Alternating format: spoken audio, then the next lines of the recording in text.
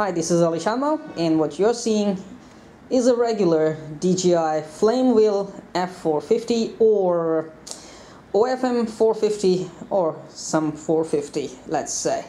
It's a quadcopter and it cannot carry any kind of camera gimbal except the OFM SCM camera mount and a little camera under it or it can directly take a GoPro somewhere on it but if you want to carry camera gimbals like these like this one from havafilm.com Turkey Istanbul I believe it will be too heavy. Now sitting next to it is the OFM Seeker 450 well I am preparing this one for one of my customer in Canada. It will be ready today test fly and send it. Do the size comparison and you can see it's still a 450 using the same arms. That's why we call it the Seeker 450. Still, aerial photographers cannot carry camera gimbals like this one. Looking here, this is the Lotus RC T580p Plus, which is comparatively a little bigger than 450 because it's a 580. Well, those who actually want to carry some good camera gimbals or those who actually love bigger quadcopters, well, we do have the T580p Plus budget-oriented solution, but it's not very stable. Comparatively, a 450 is much more stable with DJI Naza and gives more clear and stable videos than T580p Plus.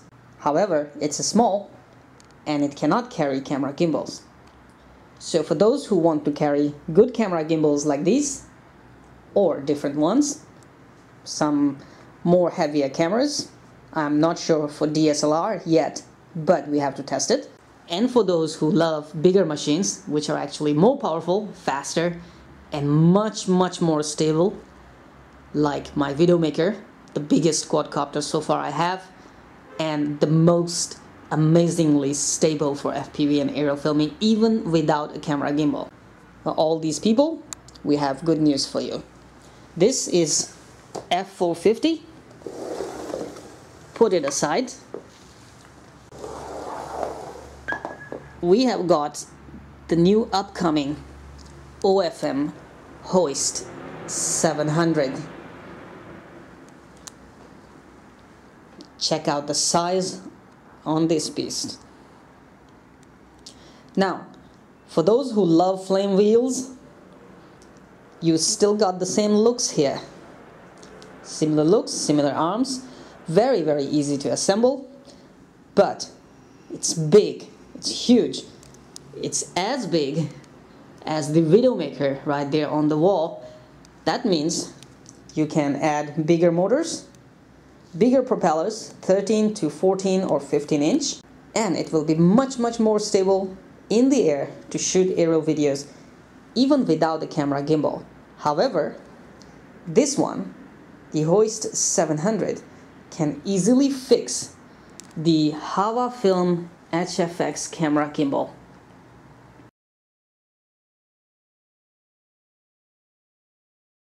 Let's take a closer look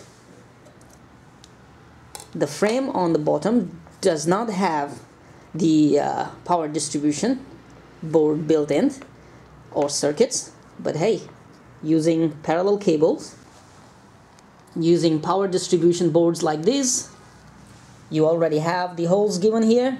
So you can easily screw those power distribution boards here and solder your ESCs directly on it. Still you have lots of space to mount other stuff.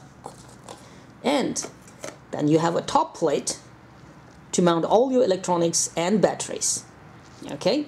But if you don't want to mount your electronics on top use a parallel cable mount all the electronics down here mount your batteries on top of it and FPV system.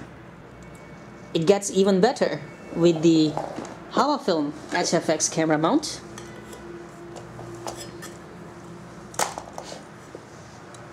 Using this camera mount all you need to do is simply drill four holes and add these aluminum pieces that were supplied with the camera gimbal. Just four screws and you have the camera gimbal nice and firmly secured on OFM Hoist 700. What's more, using this method and Havafilm HFX camera gimbal, it gives you one more layer down here which is very very useful to mount your batteries.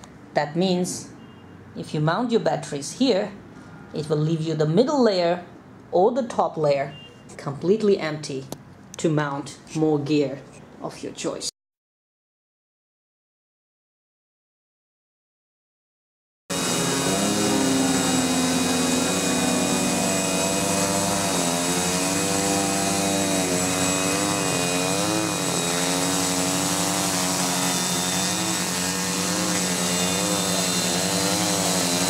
This baby is really, really stable. The Hoist 700 with Havafilm camera mount, HFX. This thing rocks. Simply rocks. Let's see how it will perform on bigger motors and 14 inch props.